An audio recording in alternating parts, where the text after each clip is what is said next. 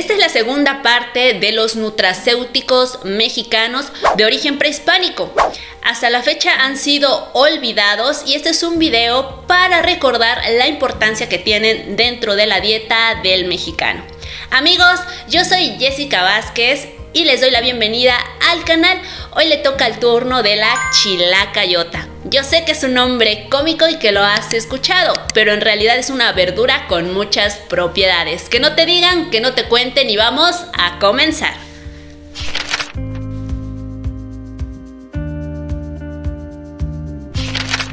Así es, la chilacayota es una curcubitácea, quiere decir que es una especie de calabacita redonda que tiene muchas aplicaciones culinarias, desde un agua fresca hasta una sopa o un guisado con carne, pudiera ser un buen platillo para que llenes de vitaminas, minerales y antioxidantes dieta. Esta verdura era consumida sobre todo en las zonas rurales de principalmente cuatro estados de México.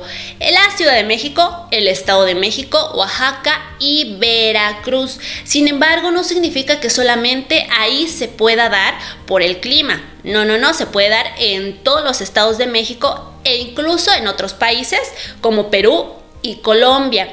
Pero principalmente en estos cuatro estados mexicanos son en donde más abunda. Es importante que reconozcan su importancia ya que es bastante abundante porque crece como hierba mala o entre la hierba mala, sin embargo tiene muchísimas propiedades medicinales. Al ser vista como una mala hierba, la gente la deja echarse a perder y toda la gran producción pues se desperdicia. Puede ser una buena oportunidad para que las comunidades rurales empiecen a tener una mejor nutrición en tiempos de escasez. Los beneficios a la salud que tiene la chilacayota depende mucho del estado de maduración de la fruta. Mientras más verde esté, contiene más vitamina C. Cuanto más arrugada la pasa, es más dulce la fruta. Y esto ayuda en la cicatrización.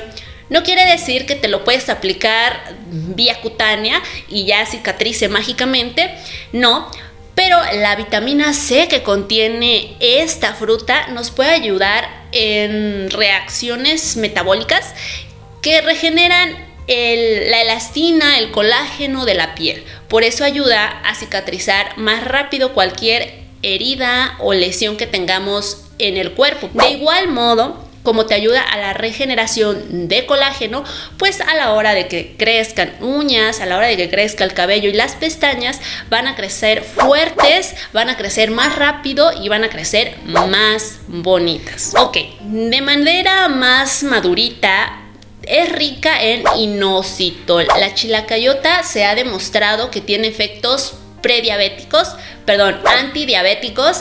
Y bueno, esto es por el poder antioxidante que tiene el inositol, pero también la sensibilidad a la insulina que genera en las células. Por lo que es bueno para contrarrestar la glucosa en sangre en personas que tienen algún, alguno de estos padecimientos. Ojo, no es un sustituto del medicamento sino más bien puede ser un coadyuvante, es decir, que puedes llevar tu tratamiento médico y por ahí cuidar la dieta, incluyendo chilacayota en tus preparaciones diarias. Tengo una colega que ha estudiado por tres años esta fruta y bueno, sus preparaciones. Si ustedes les gustaría conocer algunas recetas y algunas preparaciones, pues la invitamos al canal para que nos dé algunos tips al respecto. Chicos, chicas, ¿ustedes habían escuchado de la chilacayota?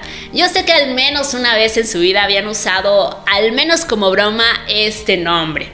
Si es así, déjamelo en una anécdota en los comentarios o mándame un mensajito privado. Si te gustó este video, dale like y comparte. No te olvides de suscribirte para recibir más tips, noticias y algún dato curioso. Eso es todo por el video de hoy y nos vemos en la próxima.